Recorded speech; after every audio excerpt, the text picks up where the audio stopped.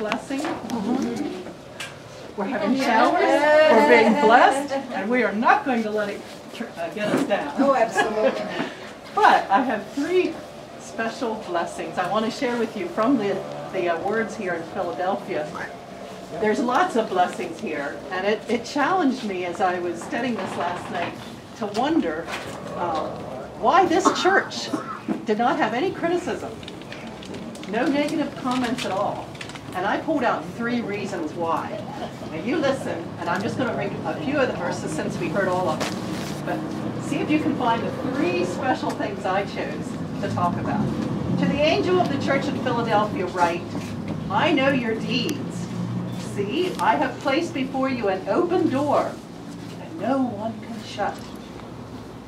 I know that you have little strength, but yet you have kept my word and have not denied my name. Since you have kept my command to endure patiently, I will also keep you. Hold on to what you have so that no one will take your crown. Him who overcomes, I will make a pillar in the temple of my God. These are the three things that really stood out to me. God gave them an open door. Number two, they endured patiently.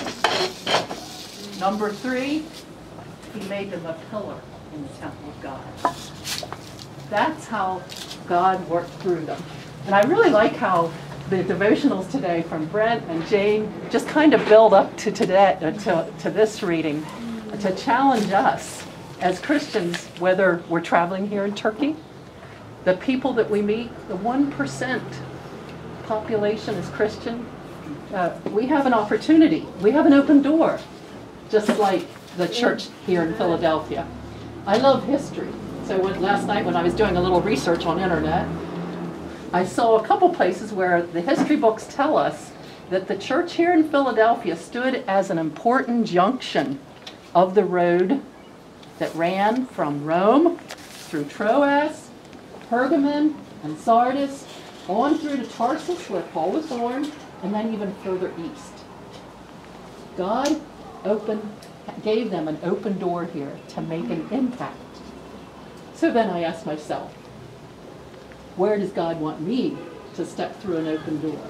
And many, many times in Lamar and my life, we have seen God open doors, but it was our choice to step through it.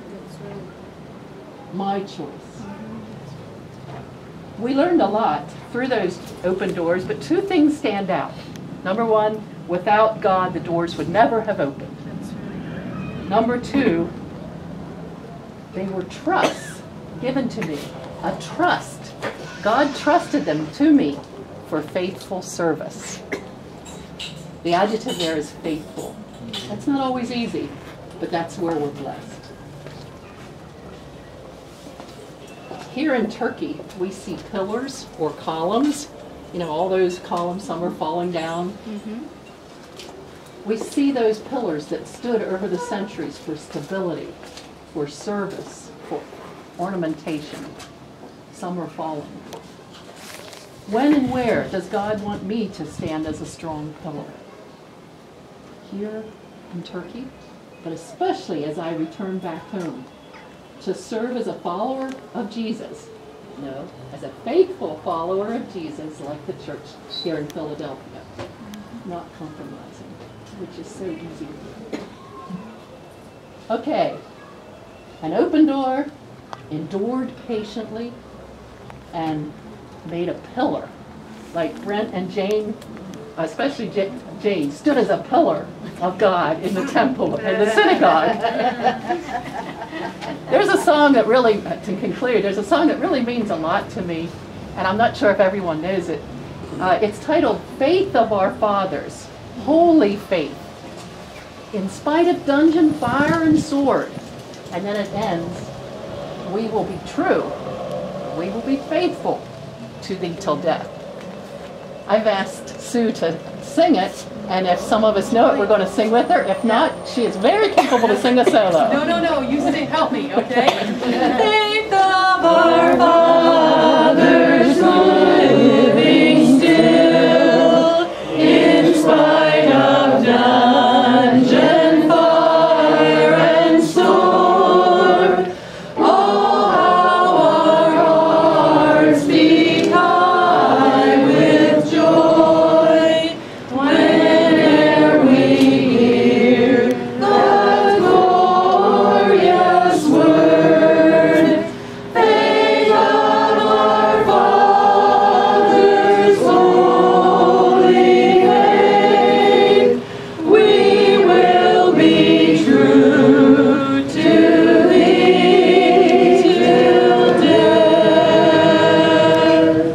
Let's pray. God, we don't really know what that means. We will be true to thee to death, but we want to be that so much. And we ask that you would continue to open the doors so that we can faithfully serve you and make us a pillar for you where you plant us in your kingdom work. In Jesus' name, amen. amen.